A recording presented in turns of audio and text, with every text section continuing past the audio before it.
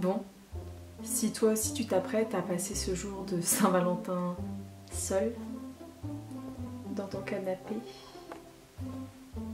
avec ton doudou et en... Voilà, j'assume, en pyjama, j'accepte aussi les personnes en couple avec un patin ou une patate. Euh, eh bien j'ai la solution.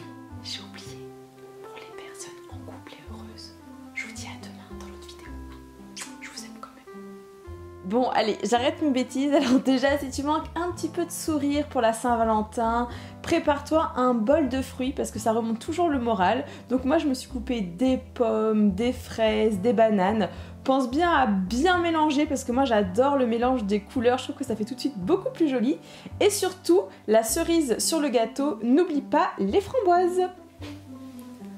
Maintenant qu'on a fini notre préparation euh, ultra vitaminée, on a une bonne raison euh, d'ajouter du sucre. C'est la solitude, donc euh, voilà, on met pas mal de sucre. C'est comme le Nutella en fait, a un réconfort psychologique.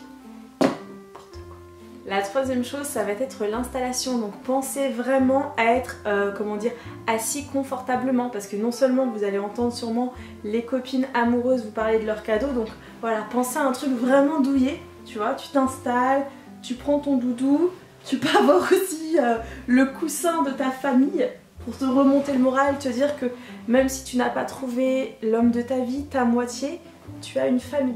Voilà. J'ai mon prince charmant au moins lui il parle pas, hein, puis il est fidèle.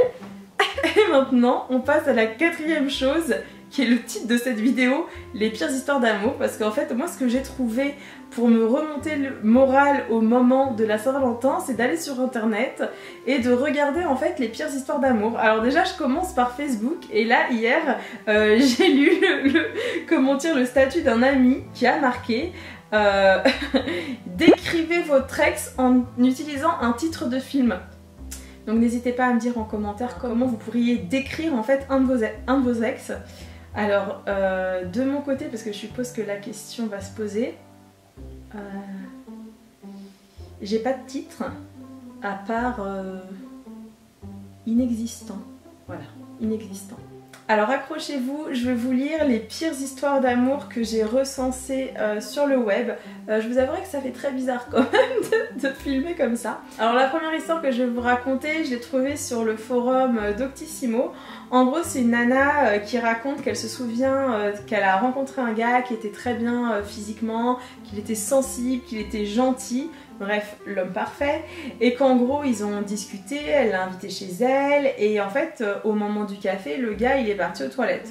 Voilà, jusque là tout va bien. Et en gros, quand il revient des toilettes, euh, le gars repart après chez lui. Et euh, la fille, après, elle va aux toilettes et elle voit que le gars a pissé partout et qu'il a même pas tiré la chasse d'eau. Voilà, je sais pas ce que vous en pensez, mais je trouve pas ça ouf. Alors, deuxième histoire, là carrément, c'est une nana qui dit qu'il y a un mec qui lui a senti les cheveux pendant un rendez-vous. Oh, le mec fétichiste des cheveux, c'est vraiment bizarre, il y a vraiment des cas spéciaux, hein, je vous jure. Hein. D'ailleurs, j'en profite pour vous dire que si vous aussi vous faites partie de la team célibatante et que vous avez aussi passé des Saint-Valentin pas ouf et que vous avez choisi d'être seul, euh, n'hésitez pas à me le dire. Je serais très contente de lire aussi. Toujours sur Doctissimo, en gros, il y a une fille qui dit qu'elle euh, a rencontré un gars, qu'ils ont fait de la rando, tout, et elle s'est rendue compte que le gars ne lui plaisait, mais alors pas du tout, je sais pas du tout. Et, euh, et, là, en fait, le gars, il a dû sentir que ça passait pas. Et dans un élan de désespoir, il lui a fait une grande déclaration d'amour. Après, il lui a dit, genre, qu'il voulait qu'ils se mettent en couple. Et en gros, euh, juste avant de monter dans sa voiture, il lui a dit, prends ta chatte, viens avec moi et je t'emmène dans mon appart. Franchement, c'est chaud, hein, je vous jure. Bon, vous savez quoi, j'ai encore mieux, je vais vous raconter une de mes Saint-Valentin. Alors moi voilà, euh, j'ai l'impression d'être à une réunion d'alcooliques anonymes. Euh, vous savez où je dois avouer quelque chose? Non, j'ai passé une Saint-Valentin une fois mais vraiment horrible. Alors déjà, euh, le gars arrive en retard et là il me propose d'aller au restaurant.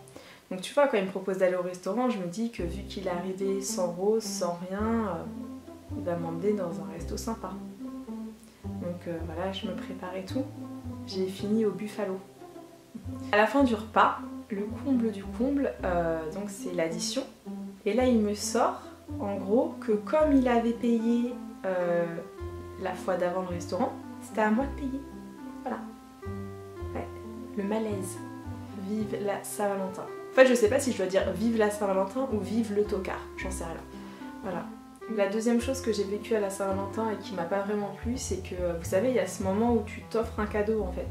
Enfin, ou pas, hein, parce que ça m'est aussi arrivé d'avoir un cadeau et, et, de rien avoir en retour, mais bon, c'est pas grave, on n'est pas là pour avoir un cadeau en retour, mais bon, c'est la Saint-Valentin, tu vois. Bref, bah en fait, une fois, euh, j'ai un de mes ex qui m'a carrément offert un jogging. J'ai compris qu'il me trouvait un petit peu trop forte.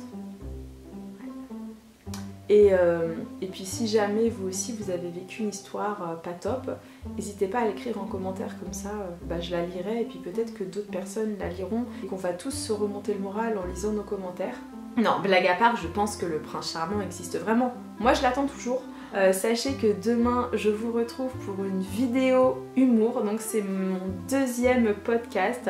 Euh, je suis super stressée, euh, j'espère qu'il va vous plaire. C'est vrai que le premier podcast, voilà, j'ai eu des commentaires positifs, des commentaires négatifs. D'ailleurs, si vous l'avez pas vu, le titre c'était Et si j'étais amoureuse? Donc voilà, n'hésitez pas à cliquer ici, vous verrez. C'était quand même assez sympa. Et demain, allez, je vous le dis en avant-première parce que c'est vous. Et si vous avez tenu d'ailleurs jusqu'à ce moment-là vidéo, c'est que vous êtes un warrior forever. Et du coup, vous pouvez connaître la vidéo de demain. C'est la Saint-Valentin. Voilà.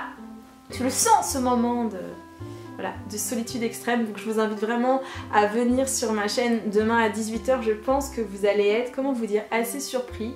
Euh, on m'attend pas trop, je crois, sur cette vidéo là. Donc je croise fort les doigts. Euh, j'espère qu'elle vous plaira. Si jamais euh, celle-ci vous a plu, n'hésitez pas à me mettre un petit pouce vers le haut et pourquoi pas à partager cette vidéo parce que voilà, ça fait toujours plaisir de voir que son contenu plaît. Et quoi d'autre? Je crois que je vous ai tout dit. Si vous n'êtes pas encore abonné à ma chaîne, c'est le moment de le faire en cliquant juste ici. Nana vous envoie un, un gros bisou et moi je vous donne rendez-vous demain à 18h pour la vidéo spéciale podcast